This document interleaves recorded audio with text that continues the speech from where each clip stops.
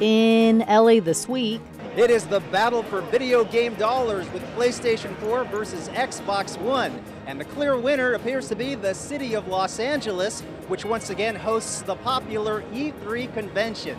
I'm Gil Reyes at the LA Convention Center with the story. He's where? In jail in Spain? And he needs $2,500 for bail? Senior citizens are fighting back against scams in which they are the targets. When school is out, some children go hungry or end up eating junk food. We have details on where kids can get healthy meals this summer. Straight ahead.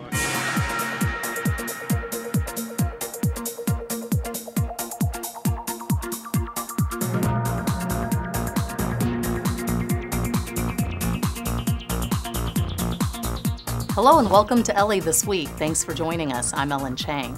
Los Angeles just played host to the biggest video game expo, or E3, at the Convention Center, where folks sample the latest titles from PlayStation and Xbox. But as Gil Reyes reports, the real name of the game for LA's mayor was tourism. Salt Lake City resident Sarah Yeager tests out the latest version of the PlayStation Vita. She especially likes the easy controls on these handheld consoles and how she can also play its games on a television using the PlayStation TV option. Yeager is also enjoying her visit to Southern California. We're staying at the Sheraton and and I'm actually extending my stay and going to like San Diego Zoo and stuff after this, so making a vacation out of it. It is considered to be the gaming industry's leading event. E3 once again packs the halls of the LA Convention Center and whether you're shooting, racing, or grappling, LA Mayor Eric Garcetti calls it a win win situation for Los Angeles. The mayor and company expect 50,000 new visitors to downtown. And they spend in one week in Los Angeles $40 million. They bring $40 million into the economy of the city of Los Angeles. I'm pretty hyped up. After making the rounds playing new Xbox titles like Sunset Overdrive, John Lee plans to splurge on dinner and drinks with friends. What better place to spend money than in LA, right? While Mayor Garcetti also considers industry potential in LA's classrooms.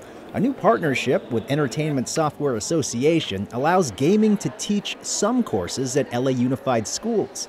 The mayor has also launched his Summer of Learning program, where students can earn online credits for completed courses. One course, a computer coding class, teaches the basics of video game making, and it's free. We want to see the next great entrepreneur coming out of South LA, out of Boyle Heights, out of Pacoima. We know that this gaming industry touches everybody. Trying to score points in the tourism, jobs, and education sectors. At E3 in downtown, Gil Reyes for LA This Week. If you are interested in video games as a career, as mentioned, computer coding is one of several free courses offered to young people in the Mayor's Summer of Learning program. To find out more, go to summeroflearning.la. And the mayor isn't just concerned about summer jobs and internships for students, he's also making sure returning veterans are given a fair chance when it comes to job opportunities back here at home. Rasha Goel has more. It's called 10,000 Strong. Mayor Eric Garcetti recently unveiled a citywide hiring initiative that will help employ 10,000 Southland veterans by 2017. As these troops return home, as I've often said, they need more than a smile and a hug. They need housing, they need jobs, they need full integration back into civilian life. The 10,000 Strong initiative involves more than 100 employers who have agreed to hire veterans. A $9 million investment over the next five years to make sure that vets can get jobs that pay our, their bills, put their kids in schools, reinvest in their communities, help them buy a house. According to LA County Supervisor Mark Ridley Thomas, of LA County's 333,000 veterans, nearly 16% are unemployed. Despite having a master's degree and strong transferable skills, I couldn't even get a barista position at Starbucks. Ultimately, I went to my local EDD office where I was referred to the WorkSource Center public sector and private sector individuals are standing here to say we are not willing to let you down any further. City officials also announced a Jobs LA web portal will go live in July, allowing more veterans to access the Workforce Center online. I'm Rasha Goel for LA This Week. This is the first time since World War II that the city of Los Angeles has established an office for veteran affairs. Money collected from high polluters in California could soon help make the state a little greener. Ana Marcos has more on a new plan to invest anti pollution funds into mass transportation. LA stands to get lots of cash to reduce pollution and improve the health of its neighborhoods. State legislators are pushing a plan in the budget that uses the state's cap and trade revenue as a permanent funding source for mass transit projects in an effort to reduce greenhouse gas emissions. Under California's cap and trade program, high polluting companies pay extra money, while low polluting companies get allowances they can sell off to the higher polluters. Supporters want that money going back to the environment. The first year of funding could bring as much as a billion dollars for transportation and affordable housing projects. Funding amounts could increase each year to as much as 5 billion yearly. We want to make sure those dollars that are coming from big emitters of carbon come back to those people that are helping reduce the impact on the environment, like folks who ride the bus, uh, like people who are on the train. I'm really excited to work with uh, our leaders statewide and especially our, our, Mayor Eric Garcetti to do everything possible to make sure we invest these dollars intelligently, wisely, create jobs, move towards a green economy, and do everything possible to reduce CO2, carbon dioxide emissions to our atmosphere. Some critics claim the plan could lead to higher gas prices and to competition from countries with few emission standards like China. But supporters believe Californians will only benefit in the long run. You either believe that climate change is going and our response to it is going to be a drag on the economy, or you believe it's going to create new economies and new opportunities. If the plan is approved in the budget, funding for LA and other cities could be released as early as next year. I'm Anna Marcos for LA This Week. California's cap and trade program also lowers the amount of pollution companies are allowed to emit each year. It's helping California reach its goal of a 25% reduction in greenhouse gas emissions by the year 2020. And on a more micro level, the mayor's office has also announced a new program that will give its seal of approval to local businesses to proudly display in their store windows, businesses that have adopted green practices. Gil explains. Look for it hanging on the walls and windows of restaurants, auto shops, and office buildings throughout Los Angeles. This new city seal means the business you're supporting has taken great strides towards sustainability. Sustainability he needs to be part of the bottom line and the balance sheet of a business. And so that's that's our goal here. An expected competitive edge for these business owners gathered at City Hall. They're among the first to be accepted into the city's newly launched Green Business Program. Membership comes with the city's seal of approval. It lets customers know they're supporting a business that actively participates in recycling, energy efficiency, and water conservation.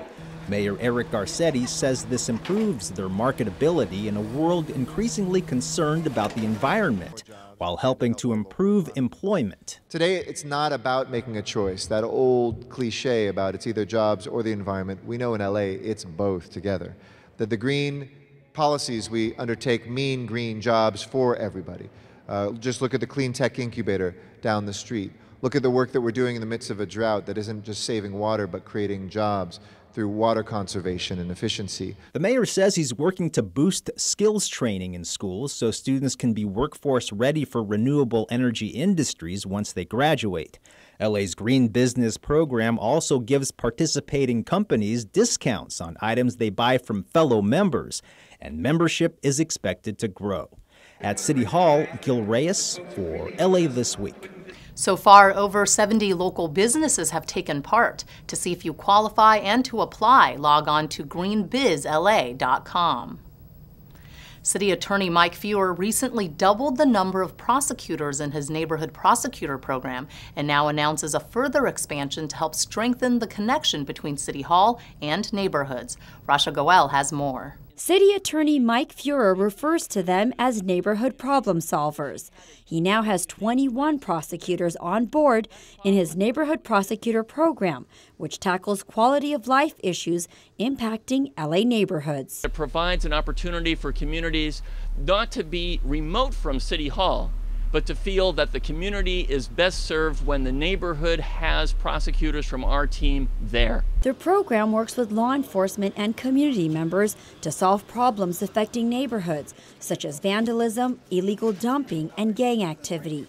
Among the prosecutors is Cynthia Gonzalez, who grew up in a gang infested neighborhood to become the first in her family to go to college and get a doctorate degree. Growing up, I was exposed to violence, to crime, to gangs. And I never really understood that there was a world out there where this didn't exist. I didn't know. That's all I knew. The goal of neighborhood prosecutors? To identify and address criminal problems before they grow into more serious offenses. So, really, we try and do a whole rounded solution to all the problems in the city. In further expanding this program, the city attorney's office will also hold meetings throughout the city, allowing community members to meet their neighborhood prosecutor. I'm Rasha Goel for LA This Week. For more information on the Neighborhood Prosecutors Program, you can call 213 978 4093.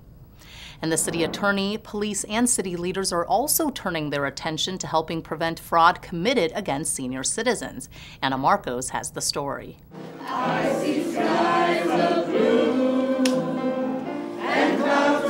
Senior citizens got together with members of the neighborhood and even city leaders to sing and dance at this West LA Senior Center in a picture of community harmony. Unfortunately, community scams are also part of the picture for seniors. As the population is graying and, and more baby boomers become uh, seniors, um, they're also more of a target. Whether they pose as DWP meter readers, uh, as, as people who are going door to door selling magazines, telemarketers, people who are trying to prey on you and prey on our vulnerable seniors. No more scams. We're not going to be preyed on anymore. The event helped raise community awareness about senior fraud. In jail in Spain? And he needs $2,500 for bail? The skit being played out, the ever popular Grandma scam.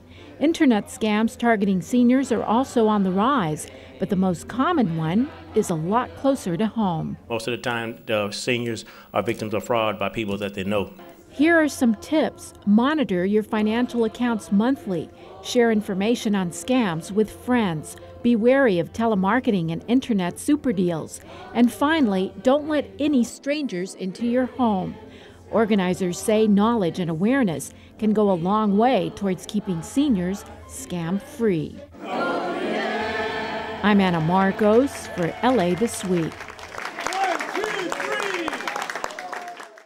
It's one of the most critical things you can learn, but yet it's also something people often put off learning.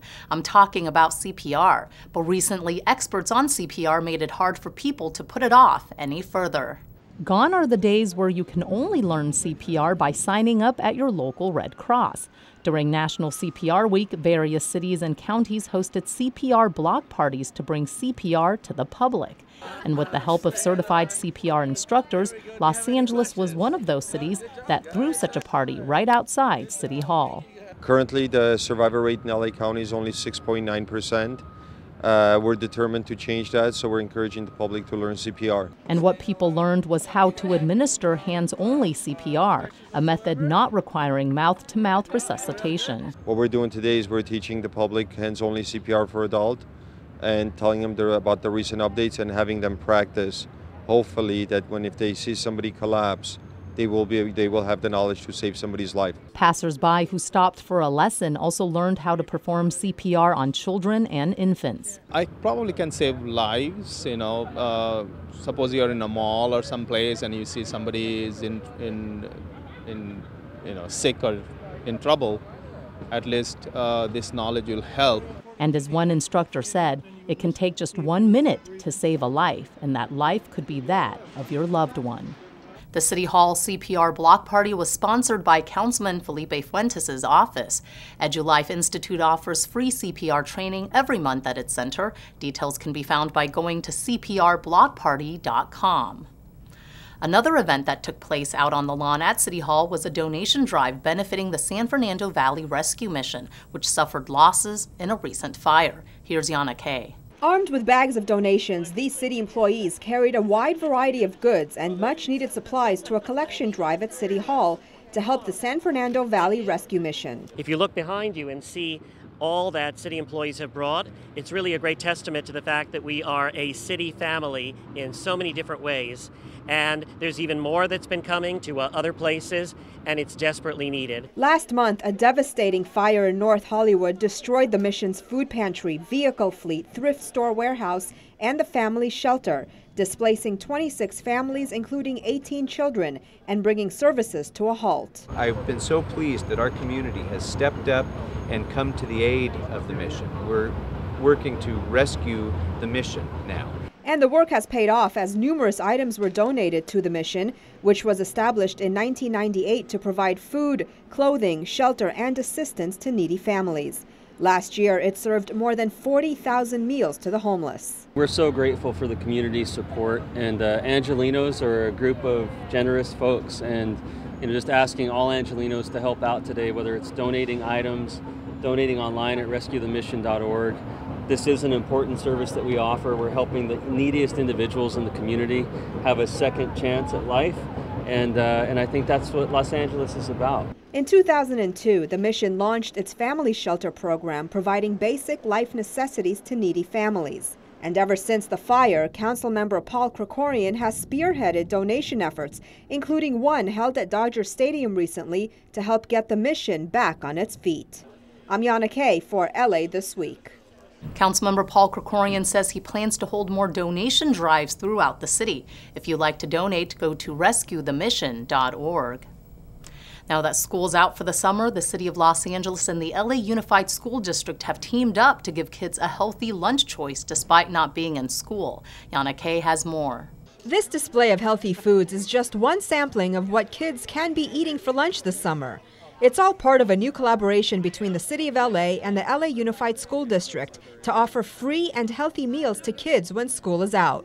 The partnership between the city and the LAUSD will help ensure that public food dollars are spent in a way that delivers the best quality food with the highest nutritional value to all Angelenos.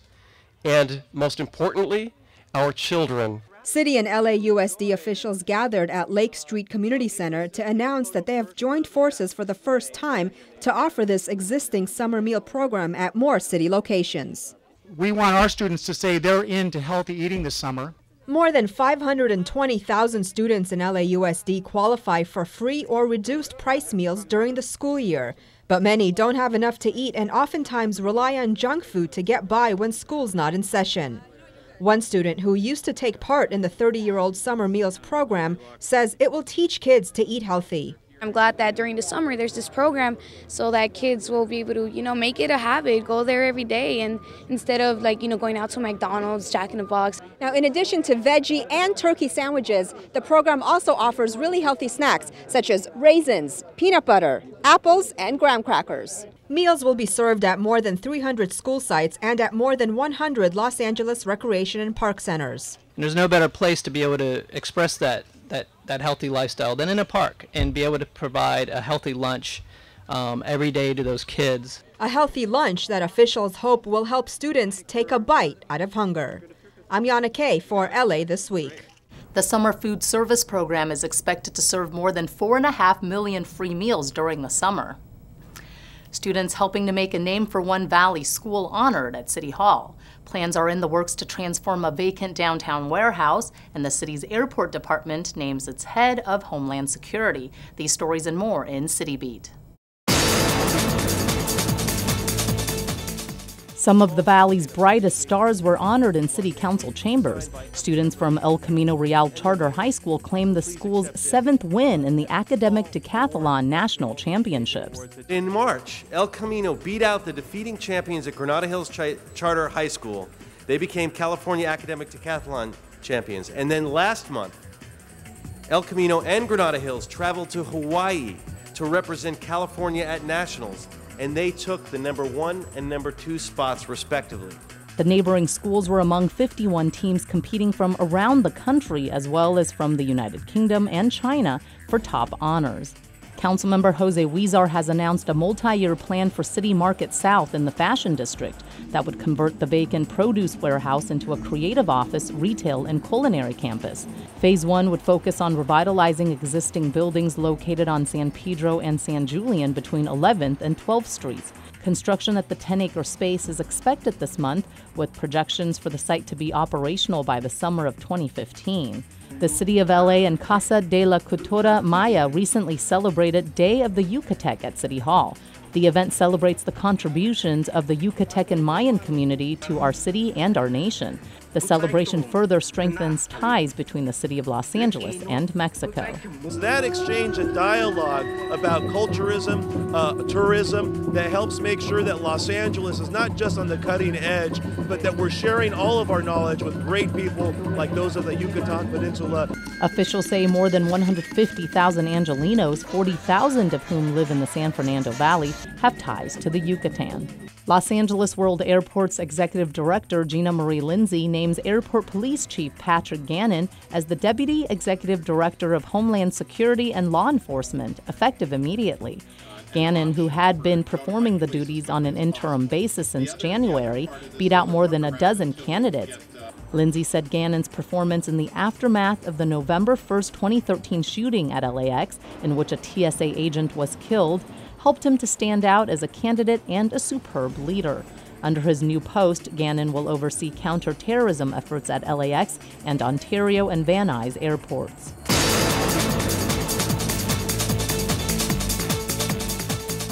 Recently, the Port of Los Angeles hosted a ceremony commemorating the 70th anniversary of D Day.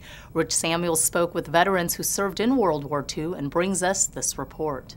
In the shadow of the SS Lane Victory, a World War II cargo vessel, Angelenos, along with international dignitaries, gathered to remember those who served in World War II. The French Consul General was on hand to present the Legion of Honor, France's highest award, to American veterans who fought to free Europe. Democracy is not a given, and we must remember what our, our fathers did so that we can build a better world for the future. And that's one of the lessons of the Second World War and of Normandy. D Day remains the largest amphibious assault in history, involving over 2 million soldiers, sailors, and airmen. This 70th anniversary commemoration might be one of the last opportunities to salute the actual veterans of the battle. The gentleman there gave me the handed me this carbine, and the last time I shot it was in Rennes, France. Just think, I was 20 years old then. I'm 90 now. Legion of Honor recipient John Spagnoli fought across Europe all the way to Germany. Seven decades later, he hasn't forgotten his fallen comrades. I, would like to see wars ended wars are terrible. You know, uh, if you like all the guys I remember that were killed, there, there families everywhere in the country to love them, and I'm going to cheer again. okay. Can't can't avoid it. From Berth 49 at the Port of Los Angeles, this is Rich Samuels for LA This Week. As for the World War II merchant vessel SS Lane Victory, it now serves as a museum and memorial. And in this week's list of things to do, the grand opening of the Downtown Harbor, a benefit concert headlined by Johnny Rivers, and an interactive event for the whole family at the Hammer.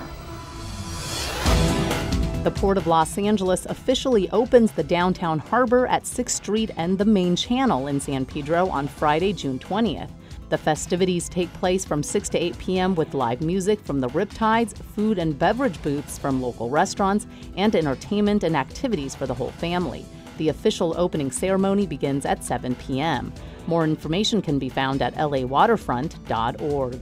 Two time Grammy Award winning artist Johnny Rivers will be headlining a concert benefiting New Horizons on Saturday, June 21st, 7 p.m. at the Ford Amphitheater. 50 years ago, Johnny Rivers all but ushered rock and roll into the city of Los Angeles with his memorable opening act performance at the Whisky A Go Go.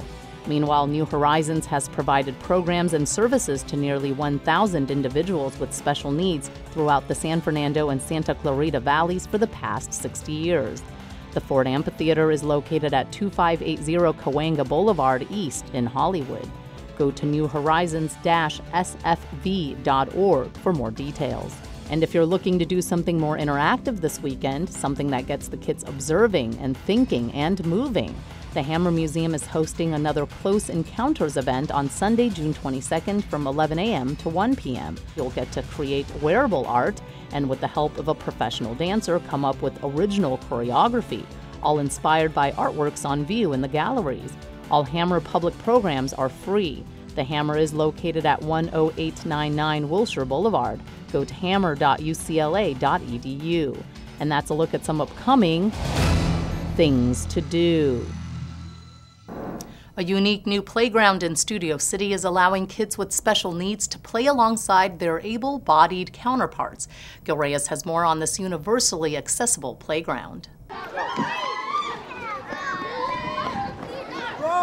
The special playground in Studio City welcomes everyone, especially kids with physical challenges.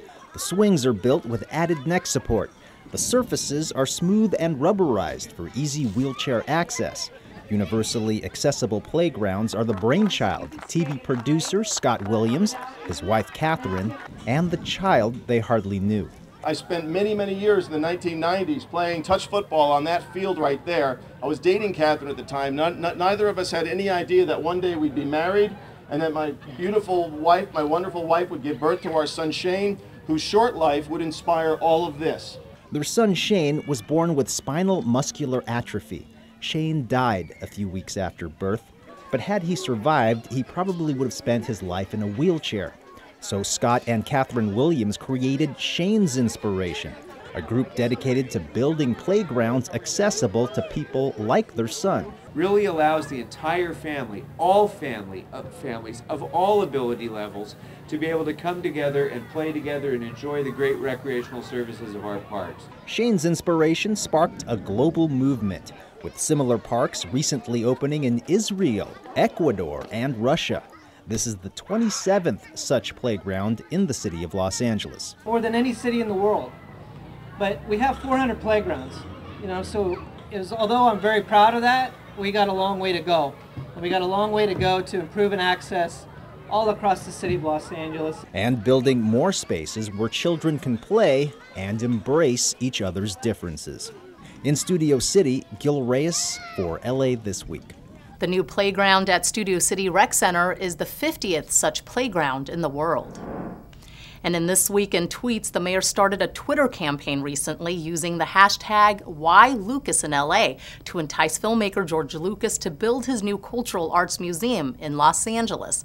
The mayor asked Angelenos to tweet their reasons why the museum should come to LA, and people certainly used their creativity, posting photos, drawings, and videos. For example, the mayor retweeted this Vine video by Benjamin Andrews with the caption R2D2 continues his tour of downtown Los Angeles all data gathered confirms why Lucas in LA should build a museum here. Lila Morrison also tweeted, Why Lucas in LA? Because even robots love our beaches, and posted this photo of C3PO and R2D2 with the Santa Monica Pier behind them and the beach under their feet. At one time, the hashtag got so popular it was even trending on Twitter here in Los Angeles. The mayor is encouraging Angelenos to keep the reasons coming and hashtagging them Why Lucas in LA. And that's going to do it for this edition. Thanks for joining us. I'm Ellen Chang. A reminder that you could catch us online at lacityview.org. You can also follow and like us on Facebook. We'll see you back here next week for more of LA This Week.